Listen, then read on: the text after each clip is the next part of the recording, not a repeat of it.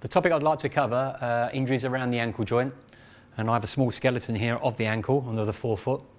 Um, commonly when you're out running or you're out training, um, you turn your ankle. Um, you would call it an ankle sprain. Um, and what you tend to do is to turn the foot inwards and you stretch the outside structures on the ankle. So from your reference, you have the small bone on the outside of the leg called the fibula. The tip of the bone that you can feel on the outside of the ankle joint is the, the tip of the, the, the fibula.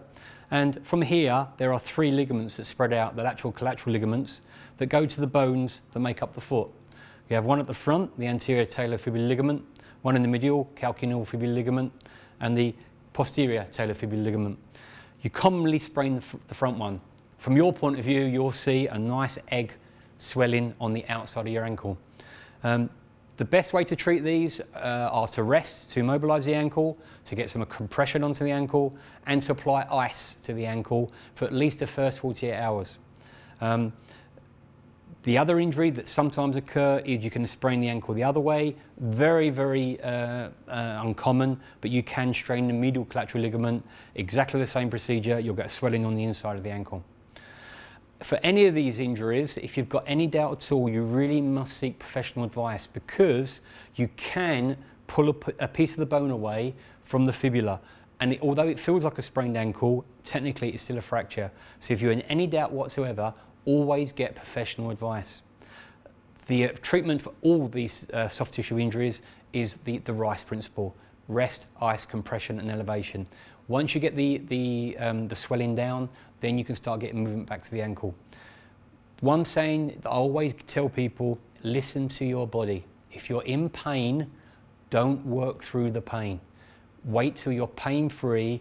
You can get rehabilitation advice, physiotherapy advice from a local physiotherapist, but please do not work, uh, work through pain. Listen to your body. There are many, many injuries around the ankle, and I'll briefly talk about a couple of the others that are quite common to runners or people like yourself that are doing um, long distance events. The commonest will be Achilles tendon problems. Now the Achilles tendon, this is the back of the, of, of the lower leg, and you have the calf that comes down the back and inserts into the calcaneum via the Achilles tendon.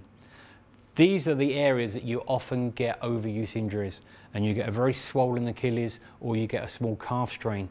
Either way, the signs and symptoms will be pain at the back of the leg on movement. Again, rice to start off with. Do not sit in hot baths, do not apply heat for at least the first 48 hours. And with these, these can be very complicated injuries. I would advise you again to get professional advice as soon as possible.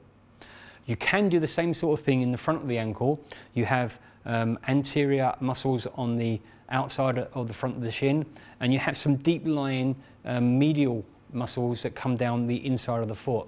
These act like a sling around the ankle. Again, if you train too hard and too quickly, these uh, hypertrophy very, very quickly and you can get muscle strains and you get pain in the front of the shins.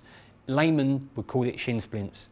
There's more than one diagnosis for shin splints. If you get anterior shin pain, please get professional advice because you need to rule out any kind of stress fracture.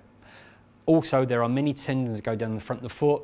You pull your toes up towards you, you'll see the tendons stick out. These are all individual soft tissues that can be damaged through training. The last point I'd like to make about the ankle is your footwear. Your footwear is very, very important. Don't use trainers for too long so they wear out, but in the same breath, don't wear new trainers for long distance running. You need to break them in for them to get used to the structure of your foot. And again, there's no hard and fast rules about which trainers you should use. Seek professional adv uh, advice, but also listen to your body. When you run in them, if you get no pain and they're comfortable, they're probably right for you. So that's all I'd like to talk about the ankle. But once again, if you're in any doubt whatsoever, always seek professional advice. Thank you.